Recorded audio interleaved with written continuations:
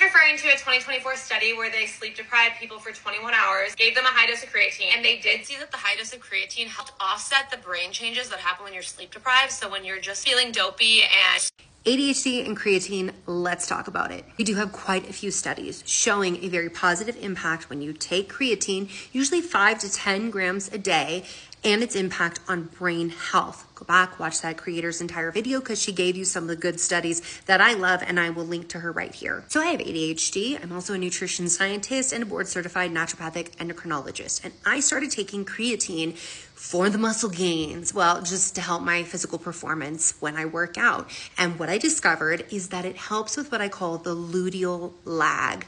That is when our brains start to slow down, you feel like you're less motivated, less focused, you're like, who am I anymore? Due to the dropping levels of estrogen compared to the rising levels of progesterone. Now, we don't have research specifically on ADHD or ADHD women in their luteal phase because, like, of course, why would we study women? But I've used this personally and I've used it with patients and I've seen tremendous outcomes. Now, it's a supplement, so always check with your doctor because I am a doctor, but I'm not your doctor. So don't take medical advice from people on the internet. This is not medical advice. Here is how it is typically dosed, though. So, after you talk to your provider and they give you the green light, typically we are dosing at five grams a day. I like to make a functional beverage where I have electrolytes, creatine, and magnesium because I suck at taking pills and I'm super lazy and I forget things. You probably relate.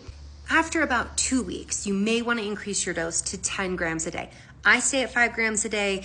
Most people are fine at five grams a day. In the study that Dr. Rhonda Patrick was talking about, they were doing mega dose, really high dose of creatine, uh, because these people were seriously sleep deprived. But creatine is not without side effects, and people can notice they get like puffy, bloated. They're like, what is all this water weight? And that's usually when we go past five grams. If you try this, if you've tried this, let me know in the comments. I'd love to know has this helped you?